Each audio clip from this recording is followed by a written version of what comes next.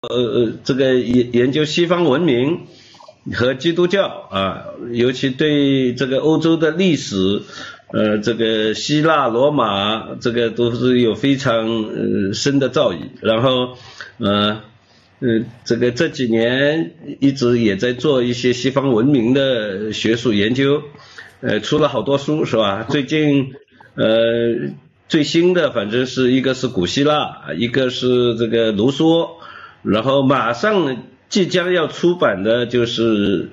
古罗马，啊古罗马的光芒还是什么啊？大概是这个书名啊，呃，很快就出版，我们这个很期待。然后第二位许继林教授啊，许继林教授对打个招呼。然后许继林教授这个大家也都很熟悉啊，也是有非常多的书，呃安身立命啊，中华传统文化这个五十讲啊。这个呃都是大家非常熟悉的，尤其对人文。然后最近许继林教授在做了好几场这个关于人工智能的沙龙，呃，我觉得挺有意思的啊。这个呃虽然这个还是努力跟小年轻保持一样的节奏啊，继林兄啊。然后张笑宇老师呢，我很钦佩，是一个年轻的学者啊。呃，我跟张老师没有见过面。但是去年在上海封控期间，呃，我们请张笑宇老师在线上做了一场沙龙，然后我们友朋会的很多朋友，这个对张笑宇老师都非常钦佩，一直很期待这个什么时候请张老师来讲一讲，呃，可惜人在新加坡啊，就这个没有那么方便，但是。呃，张笑宇老师有两本书，呃，我是去年开始就有了，陆陆续续在读，一本叫《这个技术与文明》，一本叫《商贸与文文明》，文明三部曲。呃，那天笑宇老师说第三本很快就要出版了，希望出版的时候到上海，在我们书店到时候做一场分享会啊，也很多朋友期待，呃，跟跟跟你真神见面啊，线下面对面。呃，所以呃，大概就是呃，今天呢，主要是因为我下周三我要去葡萄牙，呃，然后三年了，从南极回来之后一直就没有出去过，所以下周呢准备去葡萄牙和西班牙，然后我最近脑子里反复在思考的一个一个问题啊，呃，我我先把大概我的想法讲一讲啊。就是我一直在想，呃，大航海这个发生在葡萄牙和西班牙，然后因为大航海的大航海运动，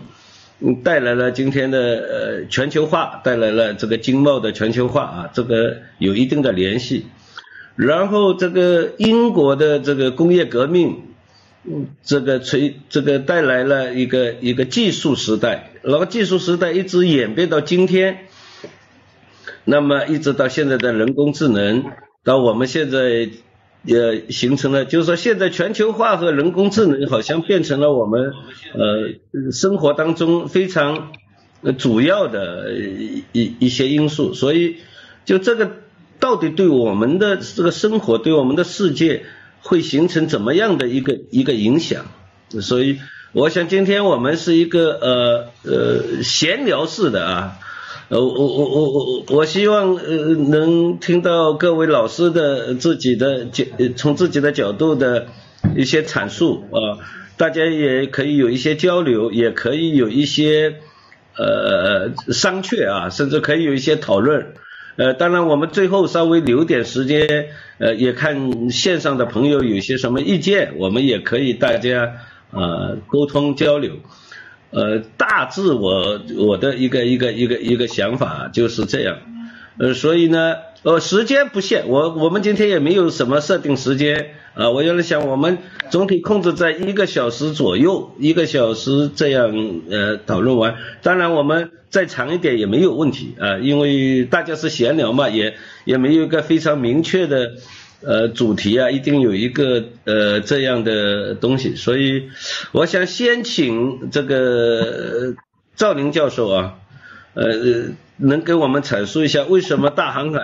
会发生在葡萄牙、西班牙，而工业革命发生在英国。那么这这几样东西对这个世界带来了一些什么样的改变？它对我们今天的生活有一些什么样的意义和启示？好吧，张老师，你你你先说。好，那我就先说几句抛砖引玉了。呃，那么可以这样说，就是说这个大航海确实啊是一个非常重要的人类文明发展的一个非常重要的枢纽点。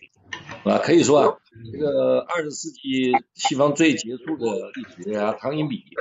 啊，他曾经把十五、十六讲做成是这个人类文明的一个重要的一个分水岭。那么这个分水岭主要是西方内外发生了一系列重要的变革，对吧？那么从内来说呢，主要就是意大利为主的文艺复兴和从德国开端的北部欧洲日耳曼世界发生的宗教改革这两场事件，对吧？一个是从十四世纪、十五世纪一直到十六。一个是十六世纪然后外呢，主要就是大航海，引发了整个这样一个全球化的这样一个呃一个浪潮吧。可以说，因为在大航海时代之前，整个人类世界是彼此隔绝的，那个时候只有这个局部性的地方史、国别史、区域史，没有统一的世界历史啊。那个时候世界是互相之间没没什么关系的，不搭界的。呃，但是呢，这个大航海之所以发生在这个伊比利亚半岛发生在葡萄牙、西班牙，其实严格说，大航海时代的最早的这个发轫，实际上是从中国开始的，是吧？大家都知道，实际上在一四零五年到一四三三年，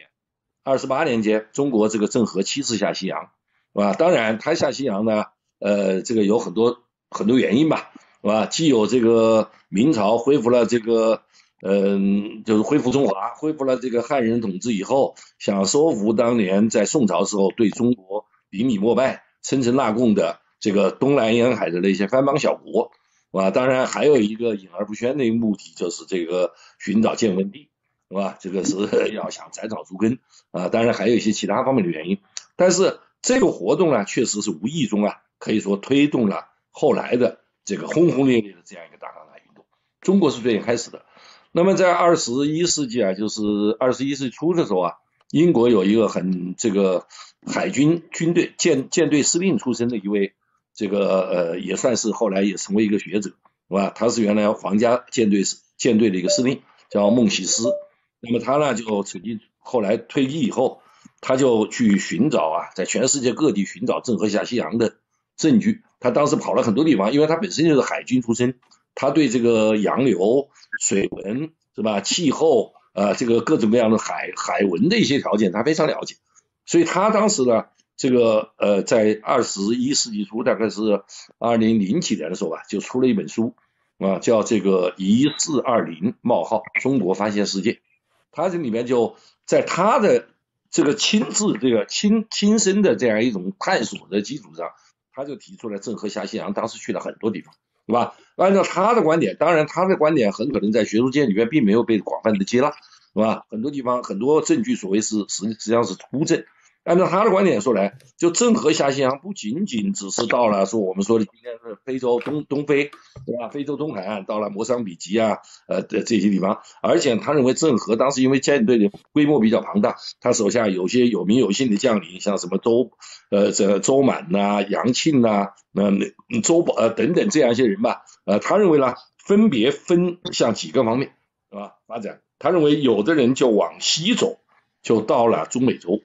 比郑和要早差不多将近一个世纪，是吧？呃呃，大半个世纪吧，早好几十年，七八八十年到达了中美洲。然后呢，比这个库克船长早三百年往南往南走了到了澳洲，是吧？甚至他认为到了南极洲，啊，那么同样呢，往西的，那么就是一路走走到了这个非洲东海岸，啊，只不过没有继续往南绕过好望角去发现欧洲，因为那个时候苏伊士运河没修通，从红海是不能进入到地中海的。所以从这个意义上来说呢，他认为这个是非常重要的一个。但是由于种种原因，中国的一些传统的保守思想，再加上这个建文帝好大喜功，最后导致了永乐皇宫的失火，是吧？最后他下罪己诏，所以这个活动基本上叫停了。后来这个建文帝死，呃呃，那个那个永乐皇帝，呃呃，这个朱棣死了以后呢，后来又搞了一次，那是说实话呢，最后已经是狗尾续貂了。所以一四三三年郑和死在南阳，这个活动在明宣宗时候一纸法令就把它叫停了，然后就再没搞下去。然后呢，半个世纪以后，葡萄牙人、西班牙人开始就是从这个呃葡萄牙最西南端的那个萨格里斯，是吧？呃，这个萨格里斯这个地方开始下下海，然后当时的亨利王子在二十年代，十五世纪二十年代就开始建航海学校，然后呢就开始培养了一大批杰出的航海家。所以你要到里斯本，你可以看到里斯本这个靠着这个那条河，我一下忘了叫什么河，那个那个河面上那有一个非常著名的一个里斯本的标志性的建筑，那就是有点像我们当年文革时候那种英雄人物的那种造型，是吧？大家这个呃迎迎风斩浪，是吧？站在一个船头上，亨利王子站中间，然后手指前方，然后一大批有名有姓的意大呃西班牙和葡萄牙的航海家。包括这个迪亚斯、达伽马、阿布拉尔，也包括哥伦布、这个麦哲伦等等，全部都是有名有姓，都在这样上面。那么可以说，这是西班在葡萄牙最受人敬仰的一些文化英雄，因为他们开创了一个新时代，开创了海洋的时代，对吧？那么实际上，在这个地理大发现之前，那么当然，葡萄牙人这样一条路线当时是充满了挑战性的，西班牙那条路线更是充满挑战性，因为葡萄牙它顺着这个非洲的这个西海岸。一路往南，顺着海岸线走，这个还好一点。后来哥伦布他是直接往西走，是吧？可以说开弓没有回头箭啊。那么一直花了七十多天，最后到了中美洲，这个是充满了凶险，因为不知道前面是怎么回事。因为那个时候欧洲人并没有美洲的观念，一直到哥伦布后来去了四次美洲，哥伦布一直认为他就是找到了印度，只不过他没有找到正宗的地方。是吧？所以这些地方当地人被叫印第安人，这个地方叫西印度群岛。这个当时就是哥伦布他一直坚持，一直到哥伦布死了以后，有个叫 American 的意大利的航海家，是吧？他才发现这个地方是一个欧洲人过去从来不知道的，所以就以他的名字，大概在一五二五年，在一个叫穆勒人的一个德国人的一个地图，他们绘制的地图啊，就开始有了一个新大洲。这个新大洲就以这个 America 这个意大利航海家的名字来命名。这样就开始有了所谓美洲这样一个概念，对吧？所以这个事件呢，确实刚开始啊，也是有一点歪打正着。这个为什么会发生在葡萄牙和西班牙？其实原因很简单，因为当时西班牙是最早崛起的欧洲第一个大国，尽管它是一个王朝国家，是吧？但是当时西班牙的统治者，是吧？呃，这个当时可以说，特别是伊莎贝拉和这个培迪兰，当时光复了整个西班牙，把格拉纳达最后一个阿拉伯或者穆斯林的钉子给拔了。然后呢，就把整个西班牙重新让他回到天主的怀抱。而哥伦布本人他是跑到西班牙，他是一个意大利的航海家，从小就跟父辈一块在船上摸爬滚打。后来呢，他跑到这个格拉纳达，呃，所以这个呃呃呃，张会长，你原来可能去过格拉纳达的地方，你可以看到市中心有一个很著名的一个雕塑，这个雕塑当时就是哥伦布去觐见这个伊莎贝拉女王，对吧？当时就像觐见，就说我可以帮你去发现印度，我可以给你带来黄金白银。这个呢，当然还有一个很重要的一个理论准备，就是由于当时啊，意大利文艺复兴已经轰轰烈烈的开展了。意大利文艺复兴在地理学上一个重要的一个成就，就是恢复了古希腊人关于地球是圆的这样一种观念。而在中世纪呢，主流观念是认为天圆地平，天就像个大盖、大罩子一样的，地是平的。而当时欧洲认为，这个欧洲人认为，特别是西北欧的这个伊伊比利亚半岛上的人为，他们认为。这个当时这个福德角群岛就是当时的地球的边缘，啊，因为福德角群岛这个地方自古以来就是风高浪急，这个海文情况、水文情况非常险恶，所以呢，没有人很少有人敢穿过福德角群岛继续往南走，是吧？在非洲的这个西海岸，所以他们认为一到福德福德角群岛再往前就掉到地面里边去了，掉到地狱里边去了，所以大家谁也不敢往前走，是吧？而且有一种说法说，一过福德角群岛，人就要变黑了，是吧？就完全变成黑人了。啊，因此呢，当时没有人敢玩。但是葡萄牙，我说那个这个亨利王子公墓，公莫大焉，功不可没。他当时建立航海学校，培养了一批勇敢的航海家们，是吧？这些人后来一直被葡萄牙人视作文化英雄。他们勇敢的穿过了福德角群岛，顺着非洲的西海岸，最后终于到这个达伽马，终于绕过了泡泡角。然后这个迪亚斯后来就。穿过阿拉伯海就来到了这个，哎，迪亚斯穿过了泡泡角，然后达伽马就这个通过红海就来到了印度，是吧？最早在印度这个这个这个当呃呃呃呃在印度这个地方开始建立了最早的一个殖民地啊。那么所以这实际上这条路本身呢，在很大程度上是由于西班牙、葡萄牙的崛起，啊，西班牙、葡萄牙曾经合并过，啊，当然这那是后来，但是呢，这两个国家有着千丝万缕的联系，所以当时可以说主要是一个就是由于地理大发现，呃，就是这个地理环境，呃，这个理论上地理学的理论已经知道地球是圆的，所以他们当时想到东方来啊，因为马可波罗那个时代十三世纪时候啊就已经有关于东方无比富庶的这样一种传闻，但是由于阿拉伯，由于不由于这个呃奥斯曼帝国的崛起，那么这个西方人通过陆路传统的思路，陆路要到东方来的可能性已经几乎为零了。所以当时由于地球是圆的这个观念复兴了，所以当时就使得很多葡萄牙、西班牙的航海家，他们就充满了探险，他们就觉得既然是圆的，从理论上，那么通向东方至少还有三条路，传统的陆路走通，那么往北走、往南走和往西走应该都可以走通，因为当时不知道有新大陆，以为大西洋的东边就是欧洲，大西洋的西边，他们认为就到了中国，到了印度，到了亚洲。啊，所以当时呢，这个葡萄牙人走了一条往南走的路，可以说是近水楼台。然后西班牙人就走了一条往西走的路，对吧？这两条路后来都走通了。当然往西走路比较艰难。后来从这个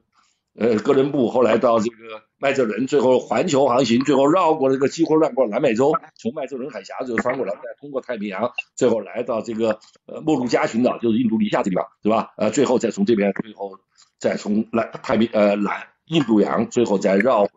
这个欧洲，是吧？然后往北走这条路基本上失败了。当时英国人、荷兰人后来崛起，他们想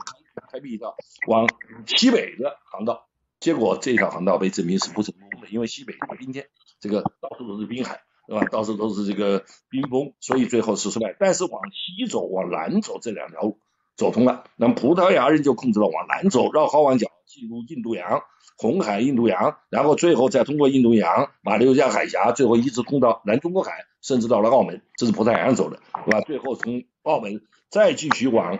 这个东走，那就走到了莫卢加群岛，走到了这个这个菲律宾，啊，那么西班牙人呢正好相反，他往西走，最后绕过南美洲，这个呃迪亚斯呃这个这个这个呃麦哲伦海峡，最后通过太平洋，最后也走到了麦卢加，所以双方大概在十六世纪。上半叶时候，双方就在麦卢加群岛就就汇合了，所以他们当时就签了两两个协议，对吧？呃，这两个协议，这个一个叫教皇子路线，一个叫这个我一下忘了叫叫叫叫什么，是吧？那个协议就把整个地球分成两块了，所以是这样的一个原因，对吧？我觉得在很大程度上，这个西班牙葡萄牙人率先走下去，是跟这个西班牙的崛起以及葡萄牙人近水楼台，是吧？他们当时充满了这样一种想到东方去发展，当然还有一个很重要的观念。就是他们要对抗穆斯林，因为那个时候欧洲人说实话，他们不知道除了穆斯林和基督徒以外还有第三种人，他们不知道，他们认为这个世界上只有两种人，不是穆斯林，不是基督徒就是穆斯林，而穆斯林现在在他们的东方，所以他们希望能够通过其他的路线通向最东方，就是属于远东，然后和远东那些他们认为也是基督教的天下和那些跟西欧失散的、失去联系的基督徒形成一个联合阵线，共同对付这个中间的。这个中东地区的伊斯兰教徒，所以这是一个影响。所以当时这个亨利王子建航海学校，是因为亨利当时收服了这个这个这个这个北非，对吧？收复了北非的一些地方，所以当时呢，好像是休达吧，还是哪里，对吧？收收复了这些地方，丹吉尔这些地方被收复了以后，他满脑子都是十字军东征的想法，他想进一步再往这个海外发展。就通过这样一种海外发展，想建立一个基督教的一个联合阵线，共同对付中间的穆斯林。所以这些想法最初可以说都是很荒唐、很可笑，但是他无意中导致了非常重要的成果。这个就是我所理解大概为什么会在西班牙、葡萄牙开始的一个原因，对吧？大航海。嗯，好。好的，好的，很好。那个呃呃呃呃呃，张老师刚才就把大航海的历史。好的，好的，很好。那个呃呃呃呃，赵老师刚才就把大航海的历史。历史。让我我看看这声音。噪音太声音太多了。那个呃，其实我刚才听到了赵老师是有两个，因为大航海，它首先是呃。呃，一呃，就是你说基基督教也好，到东方也好，其实呃，我理解为有两个目的。当时一个是应该是贸易，是吧？要跟东方的呃贸易。第二个是是那个，其实还是一个基督教。如果宗教的话，我把它理解为一种文明的一种传播和和嗯，那个那个那个呃，或者说传播也好，它相对文明的链接也好。那么正好这个正好是呃笑宇老师的那个商贸与文明吧，我觉得这个刚才和这个主题是不是有一些契合？呃，我想听那个张笑宇老师对这个事情做做一些阐述。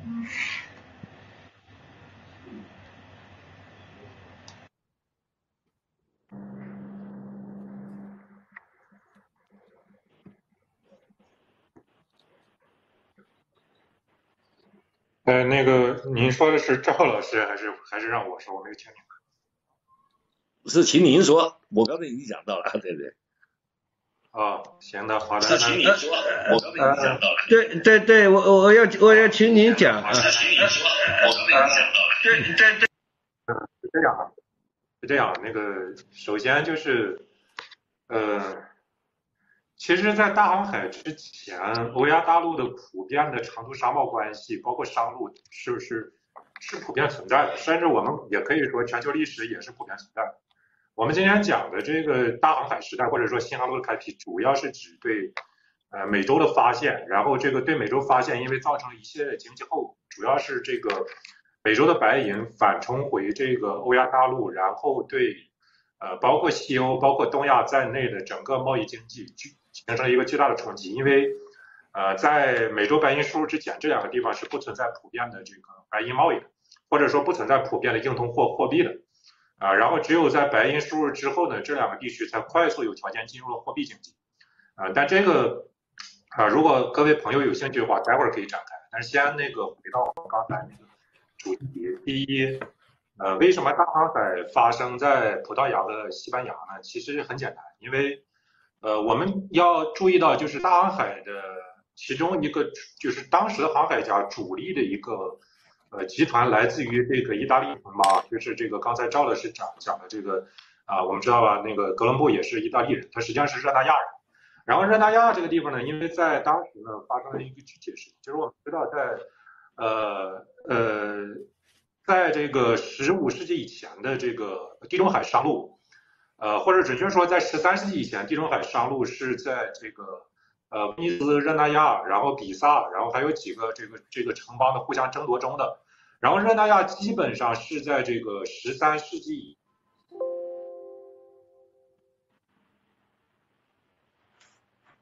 然后这个地中海商贸路线呢又被奥斯曼的崛起给垄断了。啊，注意这里不是切断，是垄断，因为我们知道奥斯曼帝国也是一个非常发达的，就是。愿意运用这个商贸经验，就是允许这个各种商人在他那个地方去经营，呃，然后这个鼓励国际贸易的一个一个一个帝国，啊，但是问题是，他要求的商人啊，不是威尼斯人，就是他可以允许他内部的，比如说这个啊，那个那个呃，这个这个穆斯林的这些商人或者这个这个犹太人啊，但是他是刻意的在排除威尼斯商人的这样一个特权地位。那么他对威尼斯商人的这样一个垄断贸易线的这个排除呢，导致了一个后果，就是原先热那亚这批商人呢，他也觉得就是虽然他在海权的领域上输给了这个威尼斯人，那就交保护费呗，对吧？就都是商人嘛，就是说这个交笔钱，然后这个货物依旧跟着这个威尼斯人走，那也可以啊。但是这个奥斯曼把这个这个商路给这个垄断了之后呢，啊，往东边的这个商路它不挣钱了。而不挣钱了之后呢，就是有一批人就是冒险，然后呃本身这批人是航海家，但是航呃热那亚本身一个城邦在航路被封闭之后，它其实转向了一个土地城邦，就是它不再说追求这个海上商路的一个主要的呃作为自己主要的一个一个呃经济来源，他那个开始这个呃在这个就是他那边的这个垄断的这批这个人商人开始去买地啊，开始就把自己变成一个王国。然后他那批商人呢就没有地方去做啊，然后就跑到了这个这个这个这个这个卡斯蒂利亚王国，就是就是当时的这个西班牙实际上，呃实际上不存在这个西班牙的这样一个合法成果，实际上是卡斯蒂利亚王国，也就是刚才这个这个这个这个赵老师讲的，就是呃包括伊莎贝拉，然后跟这个跟这个谁这个结婚之后，然后呃开始呃开始这个呃呃呃呃呃就是形成了一个强大的一个新兴的一个王国。呃，然后呢，就是早期的热那亚的这批航海家呢，去那儿干的活儿其实也很很简单，啊，就是拉风投，就跟现在的这个概概念就是去找投资，啊，然后找投资呢，就是其中有一个这个呃呃呃，就是我们说哥呃哥伦布之前其实有很多热那亚商人去到了这个这个卡斯蒂利亚，然后这个伊莎贝拉一世本身他也用很多他自己的那个那个私人财产去进行投资啊啊，然后这个呃当时这个这个这个卡斯蒂利亚就在塞维利亚这个地方建立起来，叫所谓西印度通商所，然后这个西印度通商所。呃，他的建立者就是一个热那亚商人，但是我没有查到他的名字，我们只知道他是一个比当时哥伦布更早一个红顶商人，然后他几乎就是呃整个通商所的这个蓝图的规划者啊，然后呢，就是我我我想说这个就是说什么呢？就是当时热那亚这个航海家集团前往伊比利亚半岛是一个成体系的一个，就是就是很多人，就像就像我们今天说企业家出海或者以前这个中国人下南洋一样，那么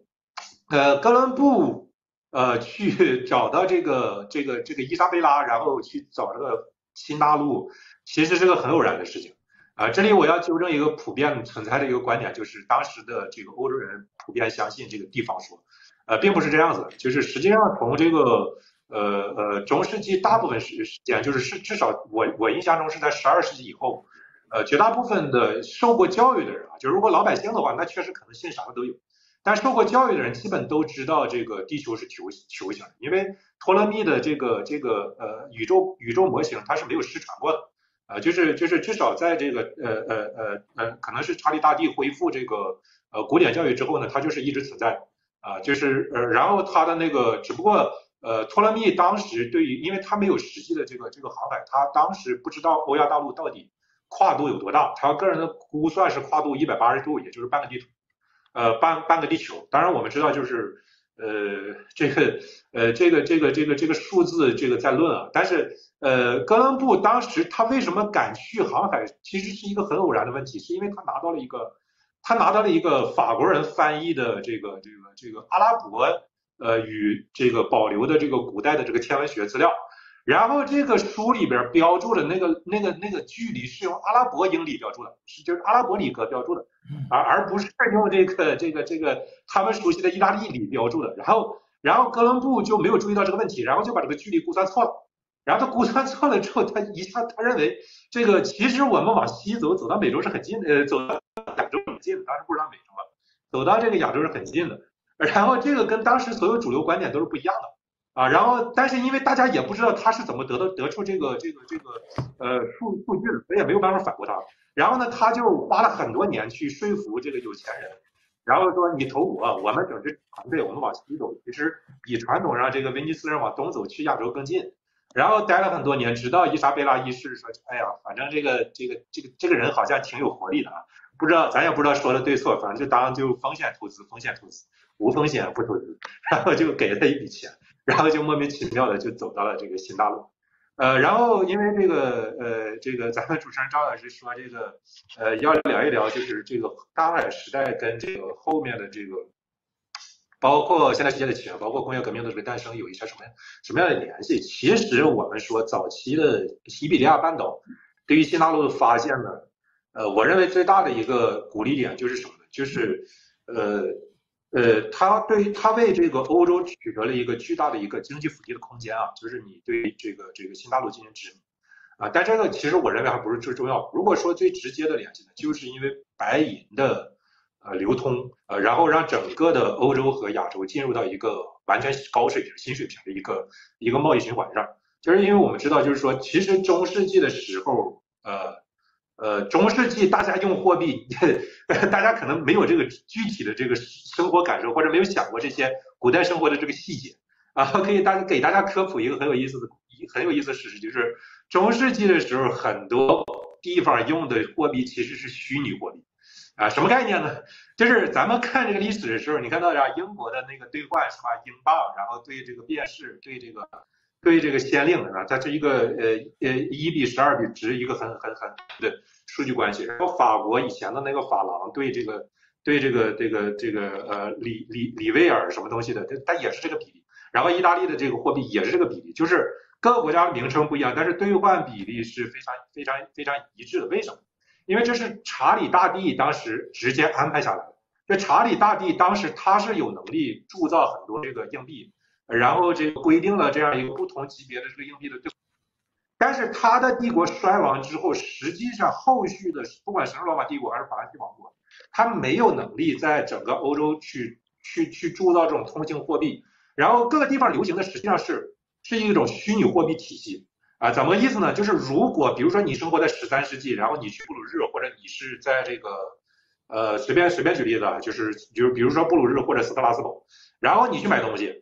然后你进到那个店里边。那个店里边会贴一张，就是根据查理大帝的那种那个那个货币，然后一比十二比十的那个那个那个制定的一个兑换表，然后呢，他还制他还会制定一个汇率表，就是因为如果我这个地方是个商贸城邦，我自己会有一个铸币所，我铸造一个当地货币，然后这个当地货币兑换这样一个虚拟货币之间的比例是多少啊？然后然后有第二张表，然后这个店里边的价格标的全都是查理大帝那里那个那个货币的价，或者说。呃，可能标法郎或者标标标英镑，但是你这个地方实际没有英镑，实际上你是花了自己当地的那个钱，然后来买这些东西，就是你要你要现场去兑换，所以这个非常非常有意思。但是你可以意识到，就是这个呃这个这个货币的这个交易是非常不便的，就是说这个因为因为你你首先本地的那个铸币所，因为它没有它很难有这个国家统一的法令说规定你的这个铸币成色，然后达到一个什么水平。然后第二就是你本地铸币所经常铸出来的那个成色不行，然后。白银短缺，然后这个等等这些全都不行。然后你你要你要买东西，你没你连货币都没有，这个商品你怎么搞，对吧？啊，包括包括其实中国也是一样的，就是咱们虽然说这个中国啥啥啥时候就有了纸币，啥啥啥就是铜币，但是实际上就是长期中国的铜币的那个铸造成色是很差的。这个这个那个韦伯在那个儒教与道教里边就是引用过这个很多资料来说明这个问题啊，就是其实实际上就是在明代以前。其实中国的这个商品经济跟欧呃欧洲也不咋地啊，中国也不咋地，就是说这个呃你白银是非常短缺的，就是中国历史上它是一直是一个白银短缺国家，就是呃有一个数字是从隋呃从那个呃呃呃东晋到宋代，然后大概前后八百年的时间里边，然后中国一共流通的是一点五亿吨白银，呃然后呃呃 sorry 一点五万吨白银。呃，然后这个白银到蒙古以后，就蒙古帝国入侵之后流出了三分之二，就流出了二二分之一到三分之二，呃，然后这个这个就等于说你有大量的白银流出，然后你那个经济自然经济会自然从那个呃南宋高度发达的商品经济退化到明初的一个非常非常呃悲惨，然后严酷，然后这个几乎是。呃，没有没有什么实际贸易的这样一种这个这个做画地为牢的社会秩序啊，就是高度高度这个不发达的一个暴力秩序。呃，然后这个，但是我们知道，就是在历史中的实际情况，就是明末中国也出现了这个这个这个所谓资本主义萌芽。那这个跟那这个是怎么来的？也跟这个美洲白银的大量输入有关系。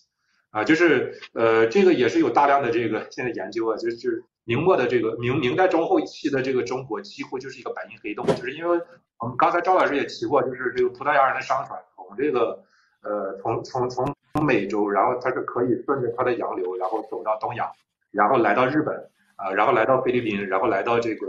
呃呃呃呃这个东南亚啊，然后这个就是跟这个中国和日本构成了一个三角贸易关系，就是日本的武士刀和一些这个区域。中国的这个瓷器和一些手工制品和东南亚的香料，然后构成一个三角贸易关系。但是大量的白银会去输送到中国内部，然后会被中国这个巨大的经济给吃掉。所以有个概念叫做“白银黑洞”，就是有人估计明末的时呃明明代中晚期的时候，中国吃掉了当时全世界流通的一半白银。哎，这个经济关系就是就是你知道这个循环，才知道中张居正为什么有条件搞一条鞭法改革，搞这个这个这个大家开始用这个白银来交税。然后你也才知道为什么哈布斯堡王朝他有钱来来来来打这个仗，来这个崛起，来这个形成这个当时这个欧洲从来没有见过的这样一个大帝国，这个跟新大陆的发现是有着巨大关系的。啊，而在此之前，不管是郑和下西洋还是之前更早，其实在郑和下西洋之前，呃，包括这个南宋的南洋华人，包括这个蒙古的这个航海家，因为我们知道蒙古。也有非常优秀的，就是就是元帝国也有非常优秀的航海家，他们曾经去，呃，就是当然也有这个这个这个这个这个，呃，就是他们是兼有航海家和这个海军统领的这样一个双重职责。比如说我们熟悉的这个伊势尼黑啊，那他就这个打过越南，打过爪哇，就是就是今天那个这个这个印度尼西亚爪哇岛然后你就可以知道元帝国的航海，他是肯定是他肯定先知道了，然后过去打，对吧？然后这些地方呢在当时都生活着大啊，甚至可以说就是这个华人构成因为我今天在新加坡嘛，你今这个华人，呃，从从宋代以来的历代的这个华人，然后渡海，然后对于这个呃印度洋，然后对于这个呃呃一直到红海的这个航路是非常熟悉的，就这个知识是在之前都一直存在的，郑和只不过是。因为因为北京是很蛮憨的，就是官方的这批人是很晚才知道这些东西，但是这些这个民间的华人，这些自发的航海家、自发的这些商人们，很早就把这些航路走通了。但是这些航路的发现呢，在在对于全球政治经济格局的意义上来说，我们并不说它跟这个新大陆的发现是同等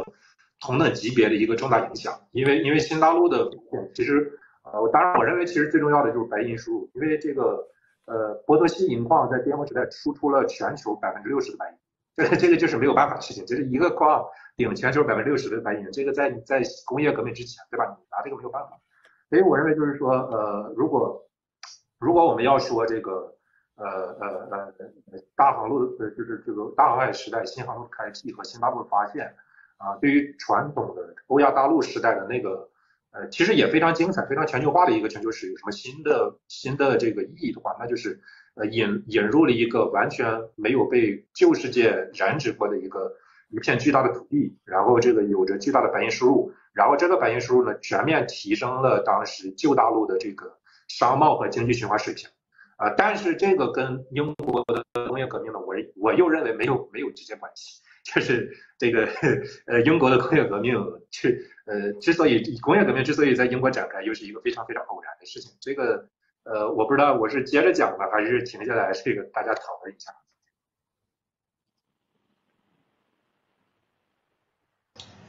这样呃呃，我我我我是想这样。那么我们刚才都在讲大航海嘛。然后，呃，英国革命确实，如果是说没有非常紧密的关系，我们放在第二个呃问题来讲。但是有一点，就是说今天呃我们所有的贸易，所有的世界贸易啊，所所谓的全球化，应该是从大航海呃这个这个事情，应该说对今天的世界是有非常呃大的影响力，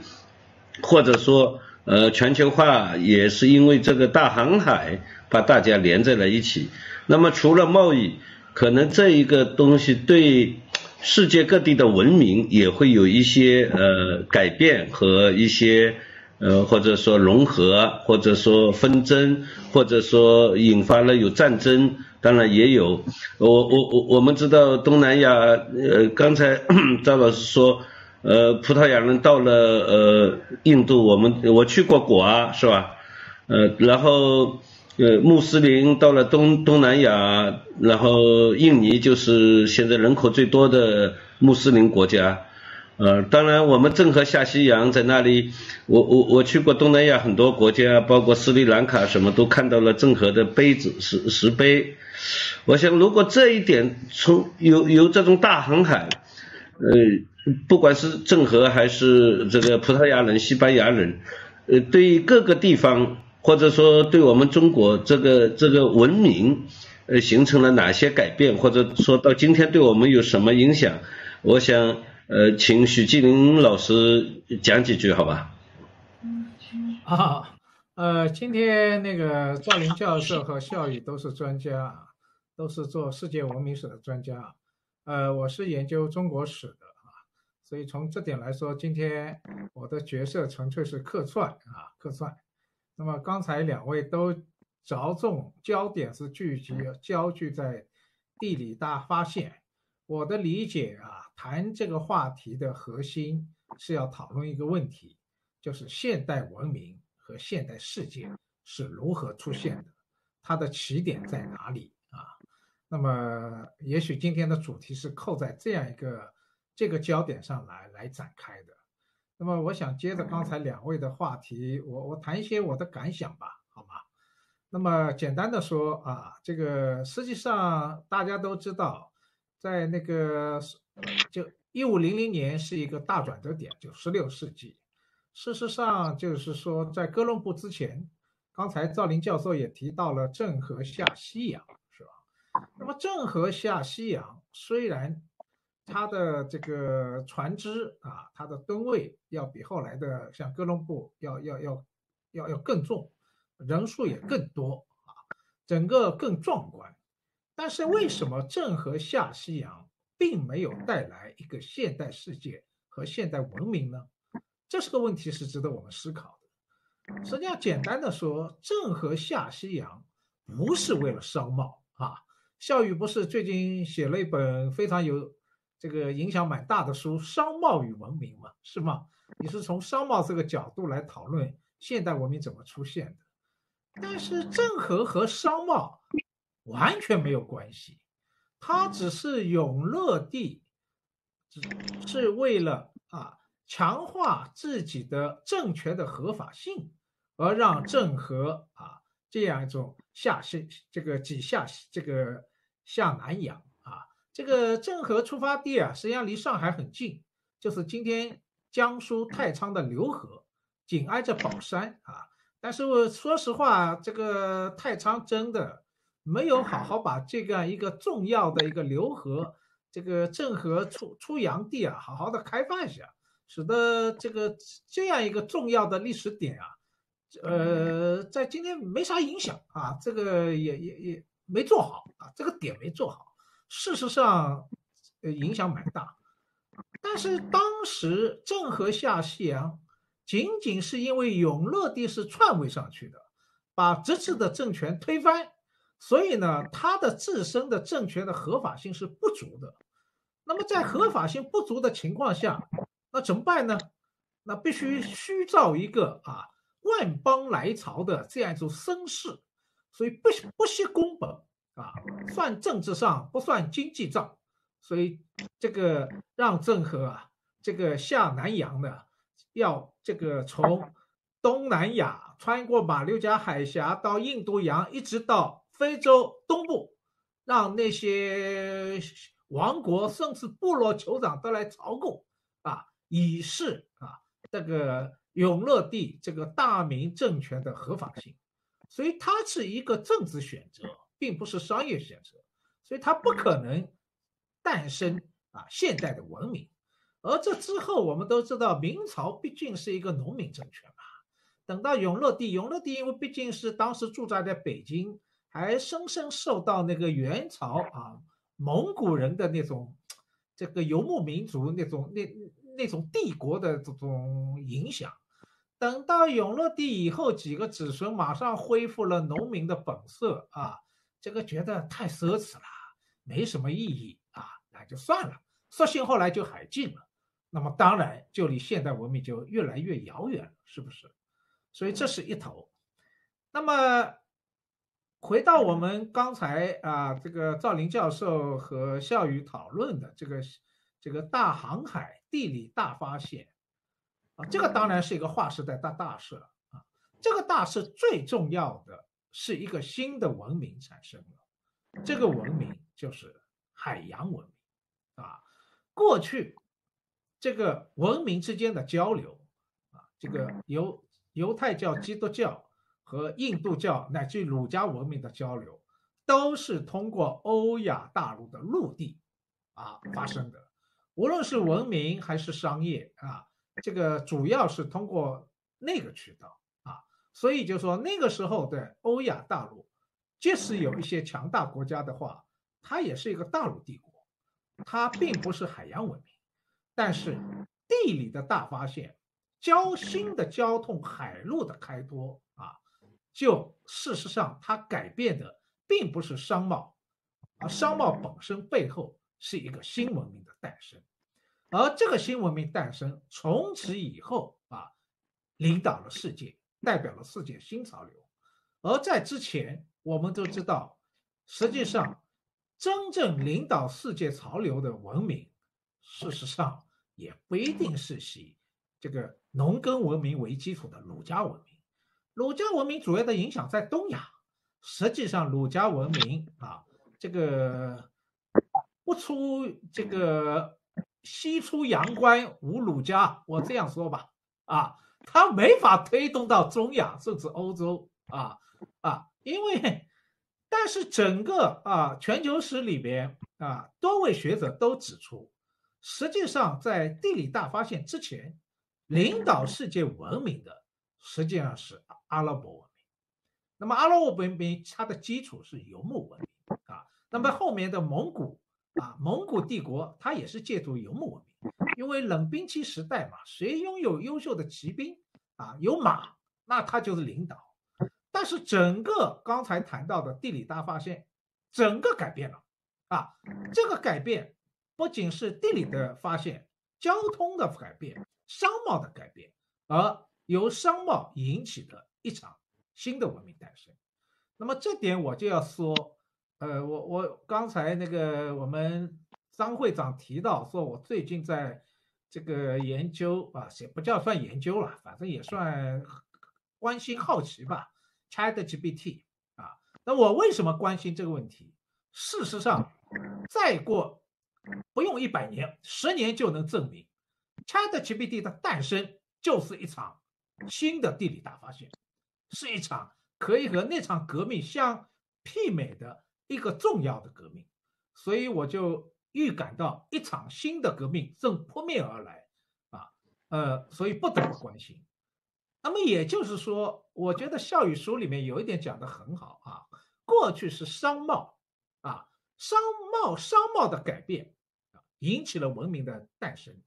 那么接下来就是制造业，是吧？这个是不是第二个话题要谈制造业，是吧？就英国工业革命。那么第三步就是科技革命啊，科技革命。但是今天在科技革命基础上，现在也许第四个革命。正在到来，就是人工智能革命。当然，今天我们不谈这个这个叫什么，这个高科科技革命和人工智能革命。我们还是回到，就是笑宇刚才迫不及待想谈的题目，就是英国革命制造业，好吧？商贸我们刚才聊过了，好吗？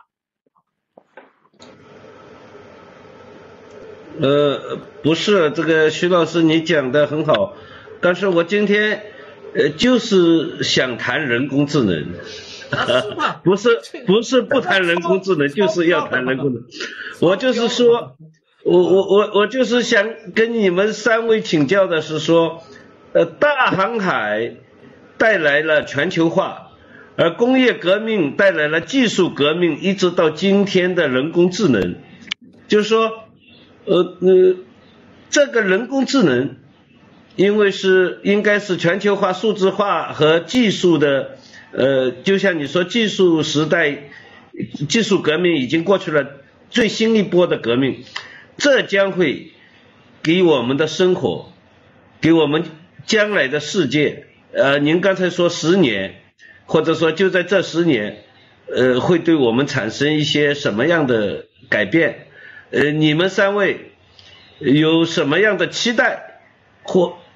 还有有什么样的担忧？我就想听听你们在这个呃方面的。反正我们是漫谈，也不是学术交流，也不是，好吧？我们仍然这个，请赵老师先讲。呃，这样，我我想接着还是刚才季林教授的这个话，我想说几句，因为我非常赞同他的一个看法。我觉得实际上这个大航海啊，更多是它导致了一种新的文明，就是所谓海洋文明的。因为，呃，我在这个做这个传统的这个农耕世界和游牧世界冲突这样一个主题的问题是吧？这个可能也受我们武汉大学原来历史学历史系的一位知著名的世界史的专家吴玉锦先生的一个思想影响啊。吴先生晚年提出一个关于这个十五、十六世、十五世纪以前吧，就是整个人类的文明主要是通过这个北方的游牧民族和南方的农耕世界之间的冲突啊，导致了整个文明史的这样一些发展和蜕变。是吧？就是包括各种不同的文明形态，从我们中国的先秦到秦汉，然后再到儒家文明，从西方的最早的这个我们说这个埃及文明，到希腊罗马文明，然后再到基督教文明，同样从这个中东的这个两河流域文明，最后到波斯米底文明，然后再到伊斯兰教文明。那么这所有的这个过渡，包括印度的哈拉巴文明，到后来的这个吠陀文明，这个呃婆罗门教文明，一直后来到后来印度教文明，这样一个变化，实际上在很大说确实啊。过去它都是在，就是三千年，从大概距今大概三千，距今大概应该是公元前二十世纪，就是距今四千年以前，是吧？甚至更早，一直到十五、十六世纪，大概有三千多年的时间，人类这个主要的冲突形式是游牧民族和农耕事业冲突，主要是在陆地上发生的。那时候海洋谁都不看不稀罕，海洋没有任何意义，是吧？所以。呃，这个从这个我们说从迪亚斯、呃达伽马他们这些哥伦布这些，包括更早的郑和下西洋，当然我非常同意呃这个这个季平教授的观点，就是说郑和当时下西洋，他纯粹出于一个政治目的，他没有任何什么商业这个玩意，因为当时中国觉得我们地大物博，人口众多，我们什么都有，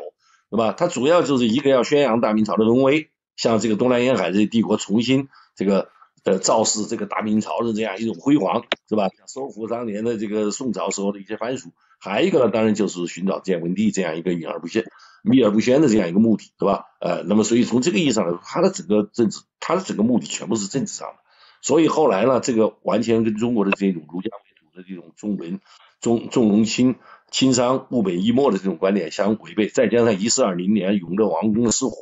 是吧？这个永乐皇帝的这个下坠几招。所以把这个胡伟东基本上就叫停了啊，所以这个事情基本上就不了了之了，并没有产生什么持续性的影响，是吧？倒是后来葡萄牙、西班牙的他们最早的航海家开始下下海，从最早是想到东方来，想获得一些机会，当然也是为了到东方寻找基督徒来共同联合对抗穆斯林，一直到后来的商业贸易的发展，最后再到殖民，是吧？殖民地的建立，这个过程是一步一步来的，是吧？而且这个过程中，我们说中国其实。根本没有开开始这个过程就退出来了，啊呃，所以呢，从这个意义上，但是呢，就客观上建立了一个通过海洋通向世界，所以我觉得在这个地方功劳最大的，除了我说葡萄牙这些航海者加这个哥伦布，呃，这个呃这个意大利籍的这个在西班牙受雇于西班牙的王，我觉得这个大呃呃麦哲伦的这个功功劳是非常重要的，因为麦哲伦实际上通过实践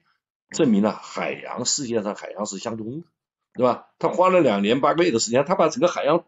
当然他是最后死在菲律宾，但是他后来大副最后带着十八个人，一艘船，五艘船出去两百五十个人，最后剩下一艘船十八个人回到了葡萄牙，花了大概呃回到了西班牙，大概花了两年零八个月的时间，所以这件事情是非常伟大，就是证明地球在海路上原来是通的，对吧？实际上证明地球是圆的，海洋完全可以通的，从此以后一个走通过海洋走向。全球的这个时代就开始了。以前游牧民族对农耕事业冲突是只限于旧大陆，只限于亚欧大陆，是吧？所以可以说，这个也是一四，我说我老在讲，我说一四零五年啊有两件非常重要的事情发生，这两件事情完全是偶然，正好都发生在一四零五年，但这两件事情产生的后果是完全不一样的，是吧？一个就是一四零五年，铁木尔率领二十万大军想入侵中国大明朝，结果死在阿姆河，是吧？最后这件事不了了之。所以就有惊无险，也就意味着从此以后，在旧大陆持续了三千多年之久的游牧民族对农耕事业的最后一次大冲击到此戛然而止，停止了，画了句号了。但是也就在同年，一四零五年，郑和从江苏的刘家港下海，是吧？开启开启了这个地理大发现航海这样一个活动。虽然我说中国的航海活动并没有产生真正的一种持续的影响，但它却开启了这个时代。那么后来的历史证明，谁控制了海洋，谁率先走向海洋，谁就开始成为下一个时代的引领者。我们是走向了海洋，然后又自己回来了，然后把门框了一关，一四三三年关上门后，一直到一八四零年，四百年以后门才被打开，是吧？但是西方人后来当仁不让，葡萄牙、西班牙的这些航海家开始走向印度洋，走向大西洋，乃至走向全世界。通过海洋，所以后来的几百年确实证明，谁如果能够控制住海洋，谁就控制了全世界。但是在此之前呢，人们对海洋是非常漠视，包括当时的穆斯林，他们当时知道基督徒们航海，他们还是怀着一种，他们还甚至比较轻蔑，他们认为真主把大地、把富饶的大地赋予了我们穆斯林，至于海洋嘛，那就让给基督徒吧。所以从这个意义上来说，西方在很大程度上当然也是最早是完全是。没有想到会导致这样的结果。我总觉得地理大发现的活动和宗教改革一样，都是他的主观动机和客观效果啊，它是在某种上甚至是向左的，是吧？也就是说，这个地大，刚笑宇讲的非常好。我觉得实际上地理大发现最重要的一点就是白银，这样就是在南美洲，是吧？在玻利维亚、在智利这地方巨大的银矿开，使得西班牙一下子成为白银帝国，是吧？那么这个白银帝国，因为白白银后来成为欧洲乃至全世界通硬通货。那么这样一个效应，就比葡萄牙控制巴西控制这个印度，控制了香料，控制了蔗糖，这个影响要大得多，因为它直接就是等于五百万里、一百万里甚至五百万里的大量源源不断的从南美洲进口，就是进来白银，所以从那以后葡萄牙开始崛起，到了这个查理五世的时候，他既是西班牙国王，又身兼神圣罗马帝国皇帝，还是那不勒斯啊呃什么一些地方的这个呃这个宗主，同时又是米德兰的统治者，所以那个时候。一由于大量的白银的进入西班牙，所以西班牙这个白银帝国极大的，我觉得实际上有一个可能，肖宇是研究经济的，我对经济并不太了解，但是我觉得确实客观上导致了欧洲物价飞涨，就是说在西班牙发现了白银，十六世纪后到十八世纪工业革命，欧洲物价疯涨了大概三百倍，啊？这个三百倍就等于大量的硬通货进来了，所以这样在某种意义上客观的刺激了生产。使得资本从商业逐渐的开始向制造业过渡，对吧？因为你这个物价越来越高嘛，所以大家当然就更多的向投入。呃，当然这是呃后来英国工业革命一个很重要的一个一个间接的原因。当然，至于另外一个问题，我们待会儿可以谈，就是说英国的问题，我觉得那是另外一回事。我总认为，尽管伊比利亚半岛的这两个国家率先走向海洋，但是他们实际上跟我们中国走向海洋一样，他们产生的一些效果也是客观的。就他们没有意识到，没有意识到白银帝国的这样一种出现，是吧？蔗糖帝国、香料帝国，还有一点更重要的是说，还有一个贩奴的活动，贩奴也是由这个地方开始的，从非洲大量的黑奴被贩运到美洲，是吧？那么这样一条路线就是非洲的奴隶贩到美洲，美洲的白银、美洲的蔗糖反过来流回欧洲，是吧？然后就极大的又推动欧洲制造业的发展，就形成了一个后来世界贸易的这样一个金三角。这个呢，我觉得可能都对英国工业革命产生了。但是呢，我还是有一个观点，我始终认为，英国的工业革命，它实际上在很大程度上是一系列连锁反应的结果，从宗教改革开始，从英国宗教改革开启的第一环，然后产生了导致英国的这样一种这个产业结构发生了根本变化，啊，农业逐渐开始被牧业和城市工业所取代，这样一来，在很大程度上推动了英国崛起是带有比较自觉的特点。而伊比利亚半岛实际上都是老牌的前资本主义式的一种经营模式，它就是靠靠控制资源，而英国、荷兰这些地方那就是看靠主要是靠这个占占有这个商品这个倾销地，啊？所以这样一来，我觉得后来那是另外一个过程。所以在讲这个刚才那个以前，我对纪林教授刚才谈那个问题，我我我非常赞同这个问题。实际上，我觉得当时确实谁控制了海洋，谁就控制了世界未来。无意中，这是一波一波的，是逐渐的。是逐渐的，对吧？最初的人并没有意识到这点，越往后越明确。所以我说，最初是想到东方来发财，对吧？是一种前资本主义的，甚至是海盗式的这种掠夺式的这样一种这个海海海上活动。后来就开始是以物易物啊，这种商品贸易，再往后就是殖民扩张，这是三部曲，对吧？那么分别是由当时我们说中国开启，然后呢葡萄牙、西班牙接着后头，然后葡萄牙已经开启了殖民，那么后来英国。可以说超越其上，所以当年十六世纪的西班牙为主的日不落帝国，西班牙所代表的查理五世所说的日不落帝国，到十八世纪就完全被英国所取代，英国成为名副其实的新兴的日不落帝国。所以一个新的时代，一个以工业，一个以这个我们说资本主义经济为模式的一种新时代就开始取代。当然，这一切都是发生在海洋时代，是吧？嗯，好。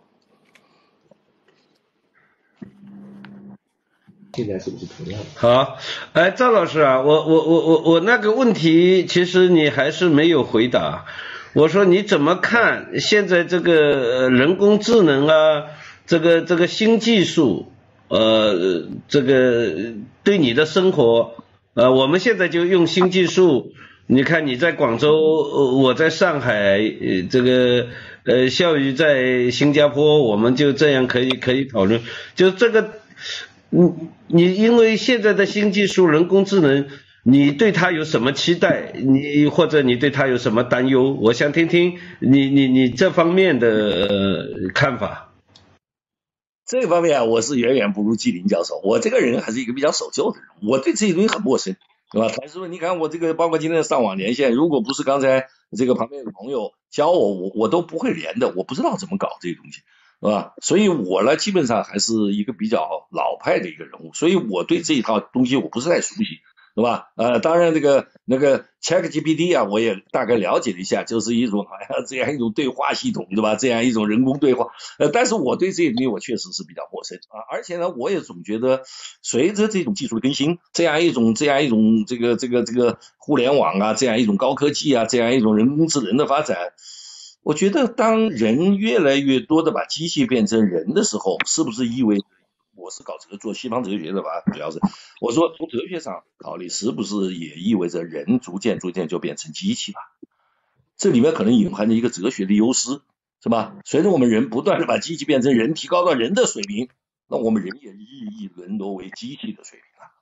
这里面可能会不会有这么一个可能性，对吧？这只是我的一种从从一个比较传统老派的角度提出的一种思考，可能是一个比较保守的一种观点。能是一个比较保守的一个观点啊，说明你还是有一些担忧啊，啊，还是有一些担忧。但是，但是如果按纪灵的说法，十年就会彻底改变我们的话，你这个担忧还是有，还要加深一点啊。那个呃，笑宇老师，你你你你讲讲，你讲讲这个。一个英国，一个在英国帝国大学专门做人工智能的朋友。呃，很著名的一个专门做这个方面的一个专家，是吧？呃，他有一次说的，他说，实际上这样一种人工智能最后的结果可能什么？就是百分之二的人控制了百分之九十八的人，是吧？呃，在很大的情况下，人越来越多的沦为一个生物学意义上的人，只需要那么一两个人来控制这个世界就行了。所以我说了，随着机器逐渐变成人，机器逐渐提高到人的水平，人可能也逐渐沦为机器了，是吧？大概很可能会出现这种结局，啊，这可能是我想多了，是吧？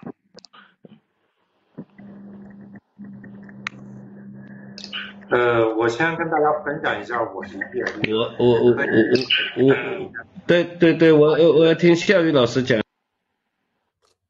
嗯，我先分享一下我理解这个科技和社会之间关系的这么一个思想框架。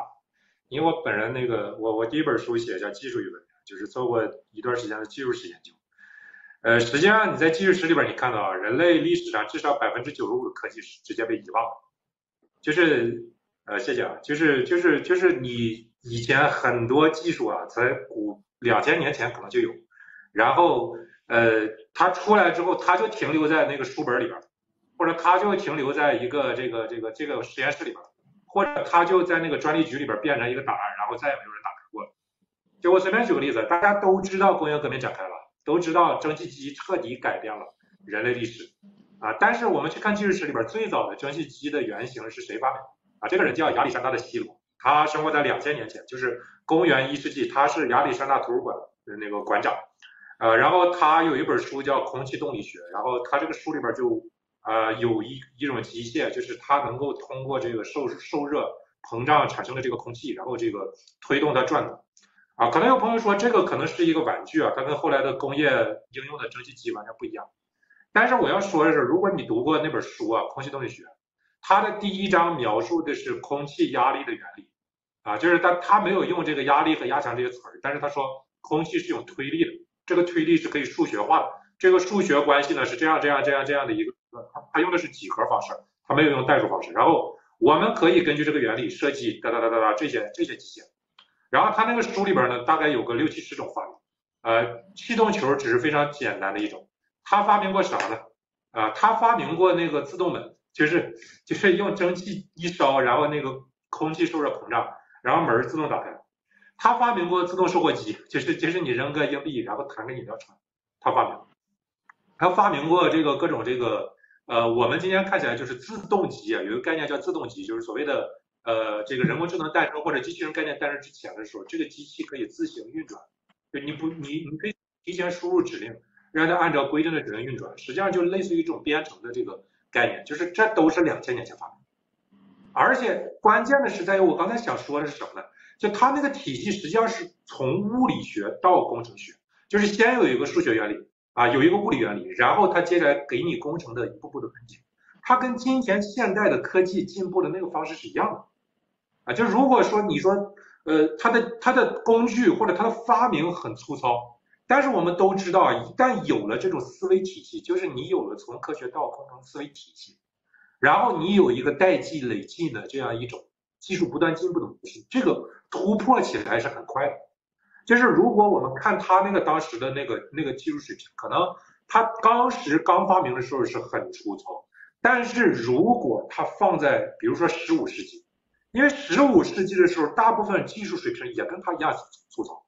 就他当时的很多机器放在十五世纪的时候并不过时，但是从十五世纪到工业革命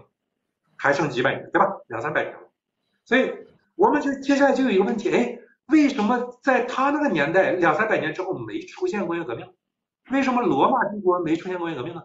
你这个时候你就要反过来思考社会结构对技术进步产生了一个根本影响，因为所有的技术进步在本质上都是一条生产成本曲线，就说白了就是如果你的技术能够大规模的降低，比如说劳动力成本，然后它就会在实际生产中得到运用。然后这个东西就会产品化或者商业化，然后才能够大规模的影响我们的社会。所以我我在我的那个书里边嘛，把这个叫做漏斗喇叭模型，什么意思呢？就漏斗的意思就是百分之九十五的发明被这个漏斗盖掉了，只有百分之五能通过。这百分之五要通过的这个漏斗，名字叫做商业化或者产业化。而商业化和产业化的前能够存在的前提是什么？前提是你所处的社会不是一个暴力为主的社会，就你回过来头，你再看西罗，为啥那个时候罗马帝国不能出现工工业革命？道理很简单，罗马帝国本质上是一个暴力社会，就是你你把这些发明去给企业家说，这个东西能够能够代替生产力，结果那个企业家我有奴隶啊，古罗马的奴隶生产是非常发达的，就是你去到意大利或者西班牙，你都可以看到那个古罗马时代的生产机器。那个奴隶基本就是流水线工工作啊，然后这个不管是酿酒还是产粮啊，然后这个东西都是都是像今天这个流水线是一样。然后当时的企业家不用给奴奴隶吃，不用啊不用给奴隶工资，管他吃管他喝就行了啊。所以你这样子劳动力成本极低的一个社会，企业家是没有动力去应用技术的。那么西罗的发明，当然技术发明者本人他是能挣到钱的，就是西罗其实挣到钱。为啥呢？他的发明卖给了神庙，啊，神庙拿着他的发明啊，告诉老百姓，你看，哎，没有人这个门自动打开了，神力，啊，没有人，你扔一个金币，然后这个啪给你弹出来一个一个一个一个饮料，神力。但是这个其实说起来是个很悲哀的事情，就是？就是如果你的社会结构是一个暴力资源为主的社会结构，你即便有好的发明，你也是没有办法让它去通过那个漏斗。影响我们绝大多数人的生活，那么这就牵涉到就是刚才就是我们讨论了很久的，为什么一开始讨论这个商贸和这个海洋对这个对这个话题的时候有贡献的呢？因为在古代社会里边要约束暴力，只有一条路，就是通过商人的努力，就是呃，无在这个广州的海港或者在这个这个这个。呃，这个这个太仓的这个海港，然后有一批商人，然后告诉官员说，呃，你你不要把你那套落在我身上，什么重农抑商，什么什么这个这个这个收这个税收那个税，什么管死，因为我们的流动才能够给你带来财政收入。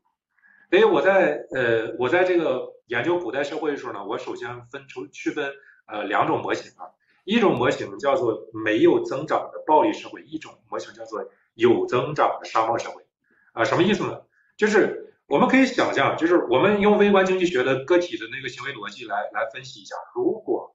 未来没有增长，如果你预期你的未来没有增长，但是实际上实际上根据量化史学的计算，那基本上是负增长。比如说刘骥先生，上海有个刘骥教授，他做量化史学，然后他就估算过明清中叶的这个这个中国的 GDP 人均 GDP，然后三百年下降了百分之二十五。就是每年大概下降了百分之零点一二左右啊，还是百分之一点，我记不清了。但是，anyway，就这个数字对你来说是有体感，就什么意思呢？就是你生活在这样一个社会，你可以明确的知道，你五十岁的时候一定不如四十岁，四十岁时候一定不如三十岁。所以你在这个社会里边，第一，你这样一个零增长的社会里边，最值钱的资源是什么？是土地，因为你吃的、喝的、住的、穿的都来自直接来自于土。然后取得土地最快的方式是什么？是暴力，就是你去抢，就是你要是真的勤劳工作，我靠，那你再再成为地主，那猴年马月。但是你要敢拜宋江为大哥，你要敢拜朱元璋为大哥，你去抢啊，说不定第二天你就财富自由了啊。然后有人说这个当强盗很危险，但是对不起，你对未来没有预期。你这辈子最巅峰的时候就是你二十岁，整个身体长成时候，那个时候最好的方式就是一把变现去当强盗，这是一份非常有的职业。所以呃，当然这个古代社会很复杂，但是我们就是建立一个基本模型。但是啊，如果我们把这个模型里边的数字啊，就是这个增长率从零，哪怕变成零点一，你就会意识到这个逻辑、行为逻辑就会发生翻天覆地的变化。因为你一下子对未来有预期啊，你知道你五十岁时候可能会比现在好，那你的你五十岁时候可能比比三十岁时候要好，你可能第一和平这个事儿就有了一个特别强的价值，你一定想活得滋儿滋儿的一直活下去。你不想现在就当强盗，然后投入到暴力互害之中。第二，就是在这样一个社会里边，资本和利息就可能发挥作用，就是呃，对吧？因为古代社会也是存在大量的投资关系的，就是比如说啊，这个咱们这个三位老师都很有钱，看这边有个年轻人叫张小雨，虽然他很穷，但是他懂一个，比如说他会冶铁，或者他会烧瓷，或者他会航海，哎，我投资他，哎，我投资他，然后就是他我出钱，他出技术，我们合伙挣钱。其实古代存在着，古代社会存在着大量的这种，呃，通过个人关系来维系的这种、这种、这种投资行为。那么这样一种增长社会，它就有可能把人的聪明才智发展起来。在这样一种增长社会，你的、你的技术、你的智慧、你的经商经验就能得到尊重。然后，呃，由于大家都不把暴力当做第一变现的渠道，然后你上一代的经验和研究。也能够影响到下一代，所以这个社会才增长出来，才有了传承，才有了知识，才有尊重技术一种发展模式。然后这种模式慢慢慢慢积累，才诞生了我们现在这个现代社会。所以这就是说，为什么回到说刚才工业革命诞生在英国，其实呢跟档案时代虽然没有直接关系，但是呃，伦敦大概在十六世纪以后成为全球工资最高的地区之一。跟我们刚才讲的这个模型就是有特别有关系，就是只有一个特别富裕的社会，然后劳动力成本价格变高了，然后企业家才有动力去运用新技术。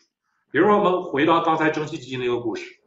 一七零零年纽卡门刚发明蒸汽机的时候，这个蒸汽机不是我们今天认为的那个引擎，不是一个动力机械，它是个抽水机械，它就跟那个咱们在油井看那个扣头机一样，它只有上下往复运动这个功能。它的功能是什么呢？是从那个地下矿井里边抽水，因为当时这个地下矿井里边有地下水的积蓄，这是个很危险的事情。而当时英国工人普遍工资又很高，大家就是不愿意去做这么危险工作，那咋办呢？而而且同时就是因为这个这个消费者这个消费水平很高，所以大家都不再烧木柴了。就是以前中世纪的时候，只有这个冶铁厂或者陶瓷厂啊才能够这个用得起煤炭。啊，老百姓家里都是烧柴的，然后伦敦这个城市，这个这个大家都有钱了，然后城市周边又没有树林，怎么办呢？就买煤，然后做煤炭企业的就迎来了风口，就是因为他的企业从一个 to B 的生意突然变成一个 to C 的生意，然后就挣了大钱，然后呢，他的工人工资又非常的成本又非常高，所以纽卡门一发明出来机器，说，哎，你这个机器好啊，你这个机器是烧煤的，然后呢，煤对我来说又不是成本，你就在我这儿用，给我抽水。然后我给你定了 KPI，就是如果你能够让它的耗煤量降低了，然后省下出来这个费用，我给你平分。所以就是实际上从一七零零年到一七呃七零年，大概七四年左右，其实瓦特做出那个关键改，中间七十多年的时间里边，实际上是有很多无名英雄前仆后继的去投入到这个工业，就是投工蒸汽机的那个改良过程中。然后直到瓦特积累出两个关键性突破，第一，他发明了冷凝器，把那个蒸汽机烧煤的效率一下子提升了百分之一百到四百。第二，他发明了那个日行齿轮系统，就是把那个往复运动变成了圆周运动。然后你你一下子圆周运动了，你能带动的机器就多了，你能够带动纺织机，你能够带动磨坊，能够带动这个这个这个这个冶铁什么的等等这一些，然后人类就进入工业时代了。所以就是只有说。商贸文明把人在这个小地方，比如说英国伦敦周边这样一个小国家，呃，小小地区变成非常普遍富裕的时候，然后呢，这个这个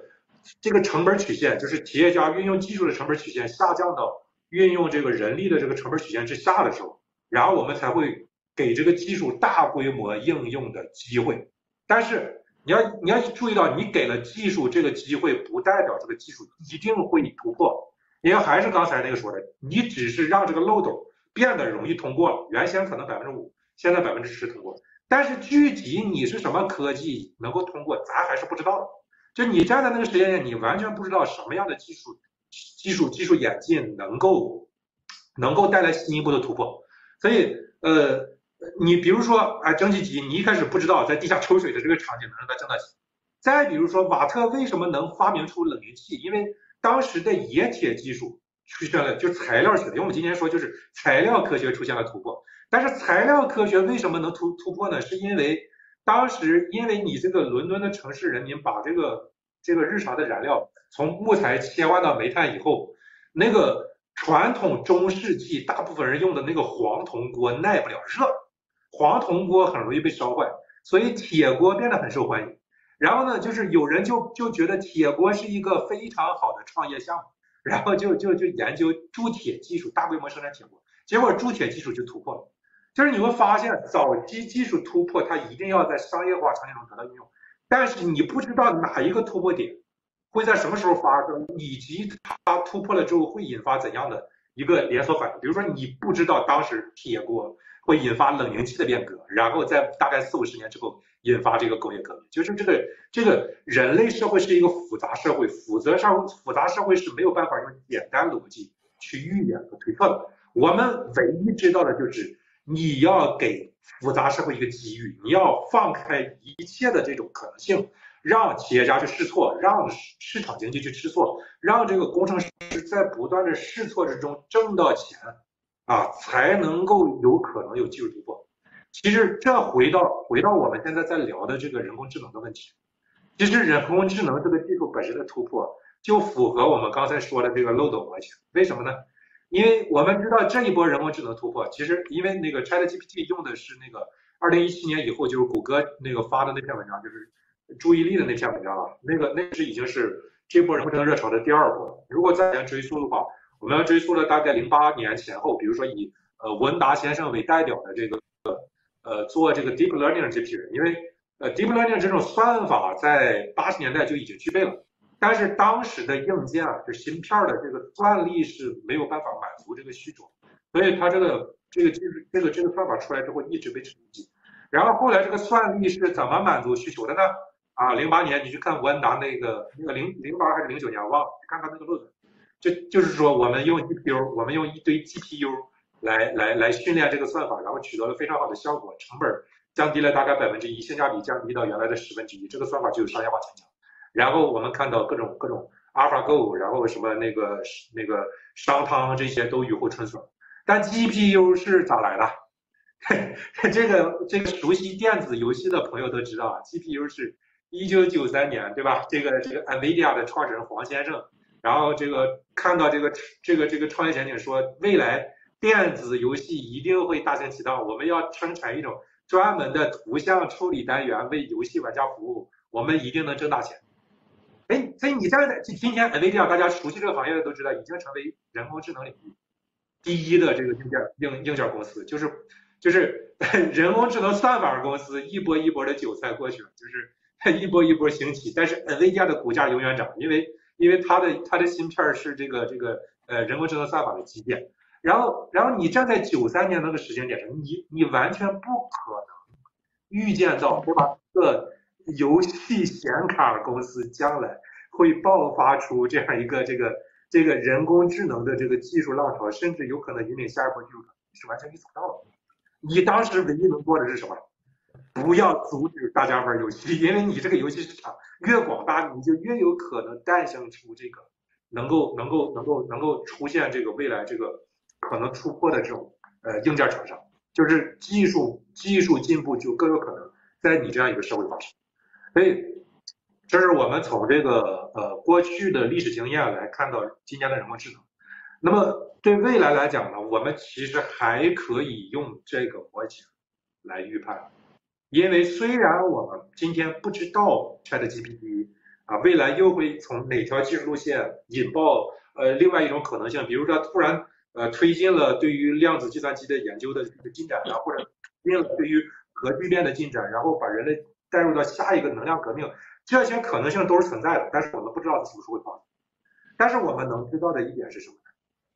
是今天这个社会贫富差距也好，然后这个不平等社会的不平等也好，然后这个各个国家由于这个本本身的这个他们，因为国家都是暴力集团嘛，这个马克思讲，由于他们各个国家自己的主权利益，然后发生冲突，然后让全球商贸的这个水位下降也好，其实作为个体，我们感受到的经济增量，我们每一个人。就现在流行一个词儿，就是就是就是内卷嘛，就是其实你用刚才这个逻辑一想，你就明白，一个过度内卷的社会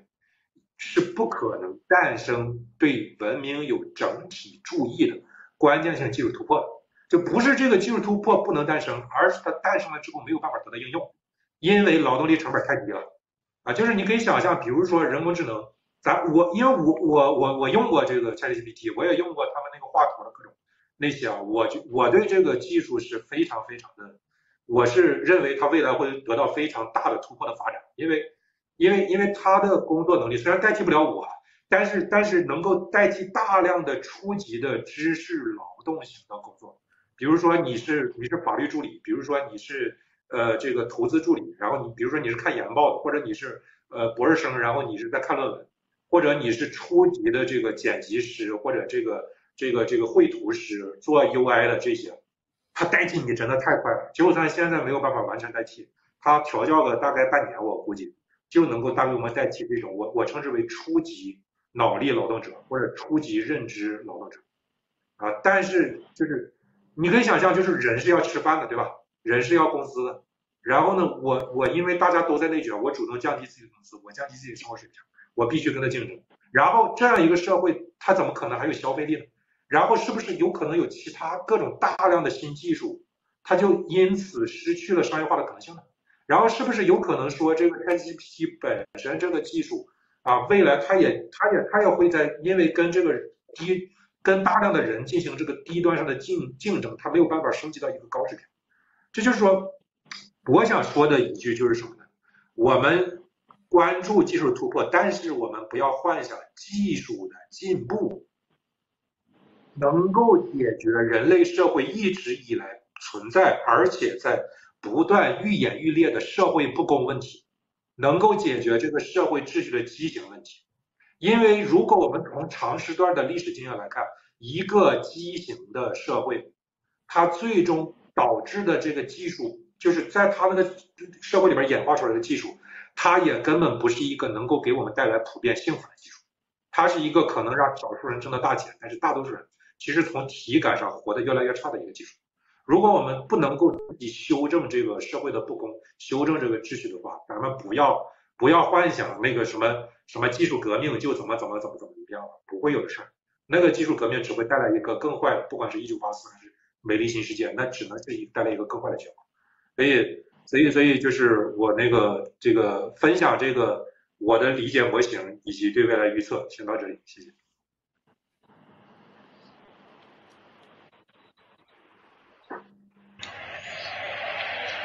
好的，好的，哎呀，这这一段这一段这个笑宇老师讲的很精彩啊，我这个观点我也很认同。其实就是说，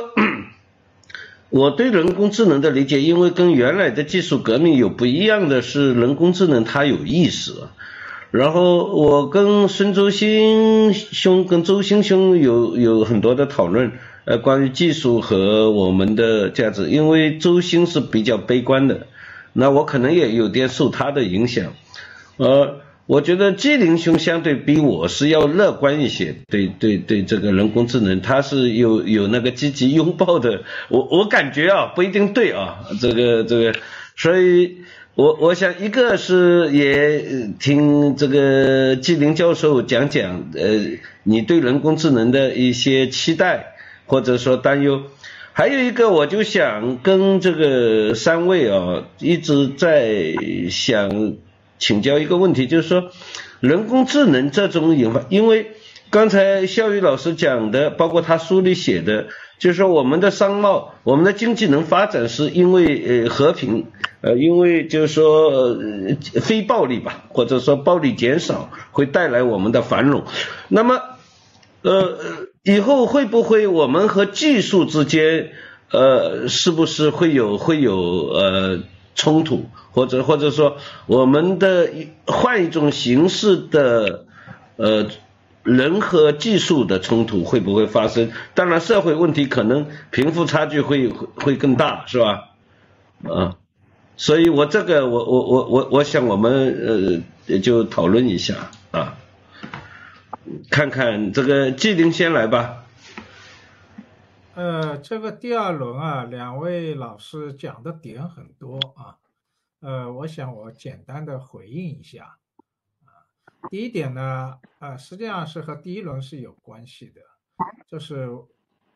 在整个世界商贸秩序当中啊。这个什么是一个交易的货币？这个问题是非常重要，啊，就是什么是世界货币？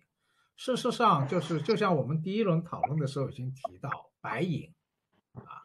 在那个地理大发现以后啊，这个有一个西方学者叫弗兰克，写了一本书，就叫《白银时代》，他认为啊，白银以白银为媒介的这样一个。这样一个时代啊，那那个当时的海上贸易是第一次全球化啊，第一次全球化。而这个全球化，甚至他认为说是以南中国海为中心的，然后形成了一个以不是今天是以美元了，但当时是以白银为世界货币交易的。呃，当然那本书引起很大的争议啊。我那我那年在澳大利亚国立大学访问的时候啊，那个弗兰克还在那个。澳大利亚的这个亚洲学会，他做了一个主题演讲，讨论了这个问题。那么我讲这个问题的意思就是说，呃，大家都知道最近那个巴西总统鲁拉访问中国，是吧？然后包括今天中国全面展开外交啊，实际上都试图就说能够摆脱美元这个世界货币啊，能够以人民币啊来直接和其他国家结算。那么这个事情不是一个仅仅是一个贸易的问题啊，实际上就是说，在整个世界贸易秩序当中啊，当一种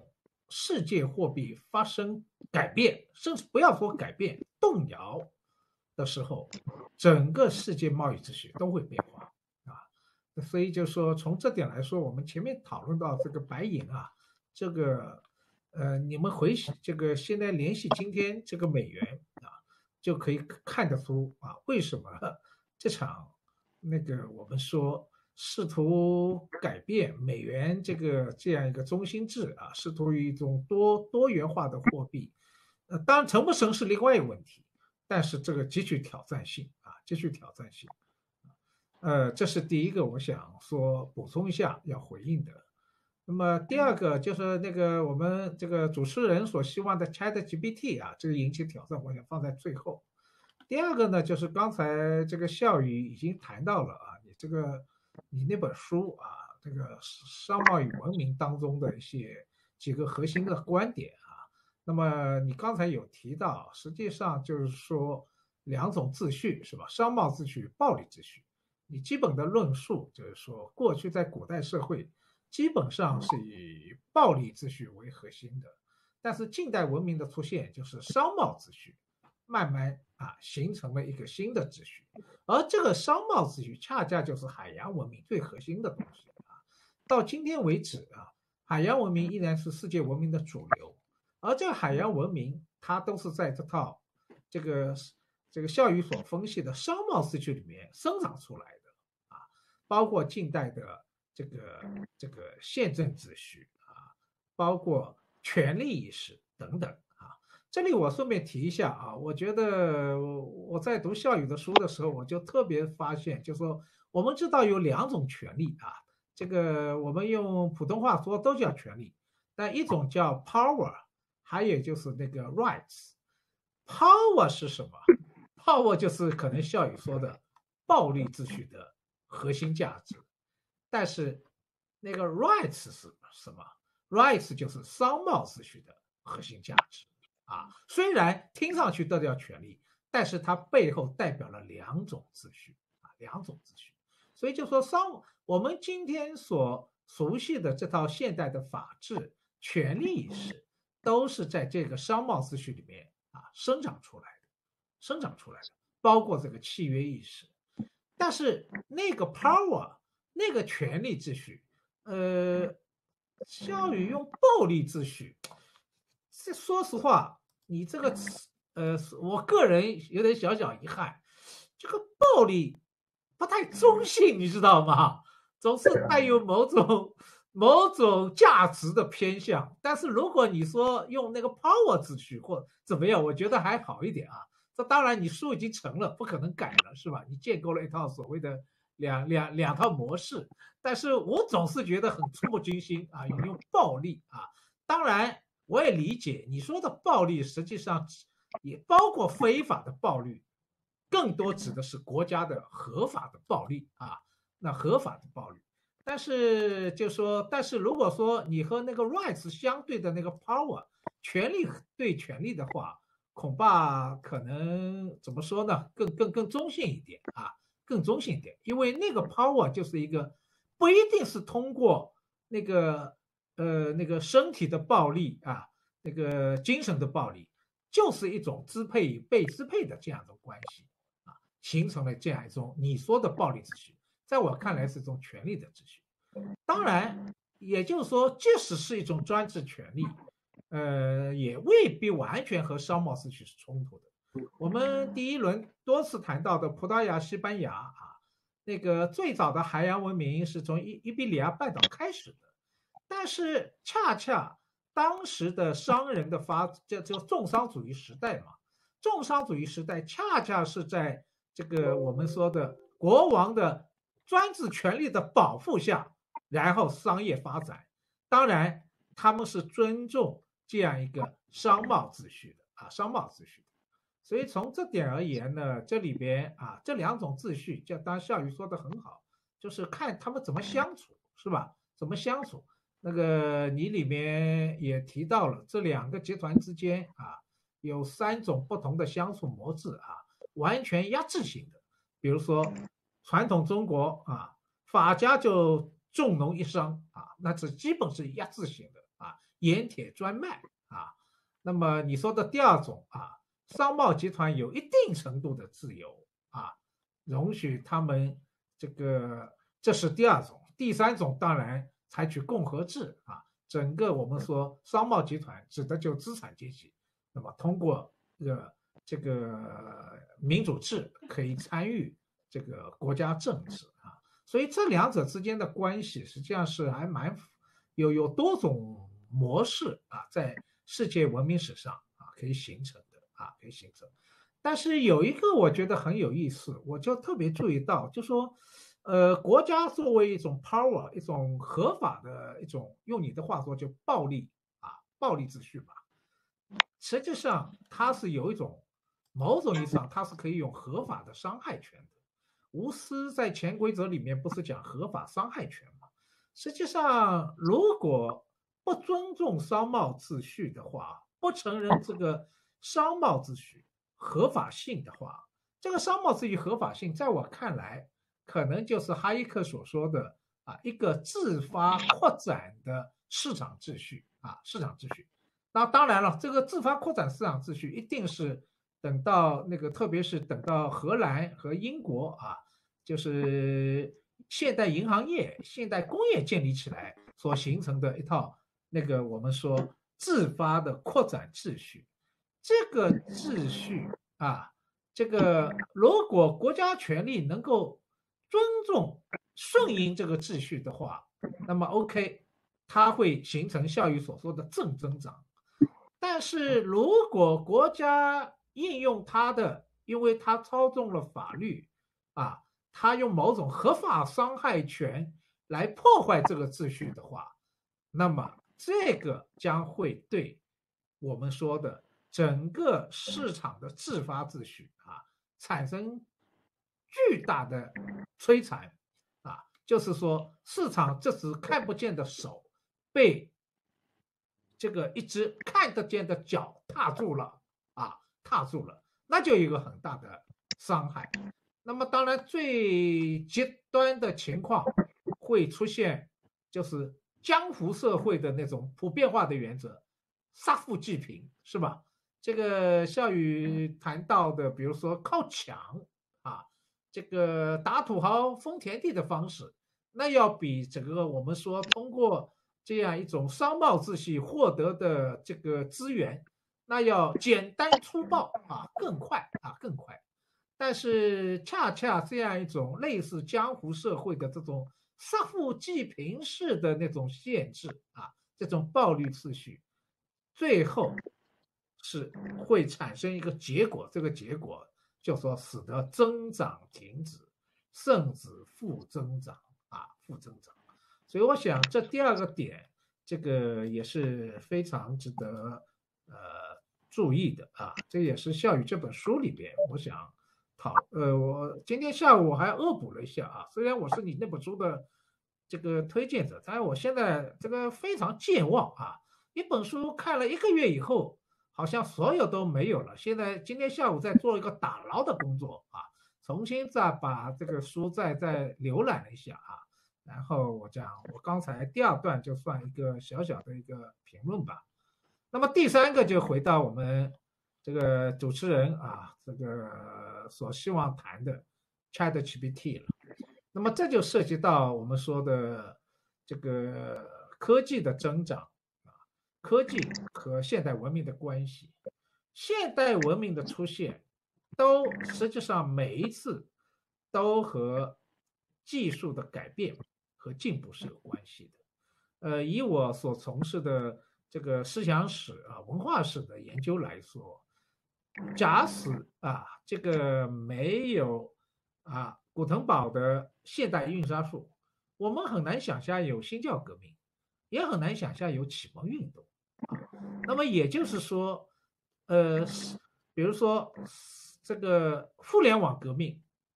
也使得现代的启蒙的方式改变了，是吧？这点我就不展开了啊。就是这个差不多这个二十多年，我们是处于一场互联网革命之中，今天还在更新迭代。比如说今天已经到了一个社交媒体和短视频时代，它极大的改变了。现代人，特别是年轻人的思维方式啊，就说回到了图像时代啊，图像时代，而抽象的文字思考能力啊，现在反而在退化。特别对一些呃热衷于看短视频的人来说，退化。这个甚至他们接受不了稍微长一点的文字啊。我我我认识的一个小朋友，我有时候会呃发给他一些我认为比较精彩的公众号的文章。啊，也不过三四千字吧。他说他看不下来，啊，他习惯看什么呢？看短视频，啊，然后短视频里面的金句是他记得的，啊，所以今天年轻一代他所构成的这个思维是由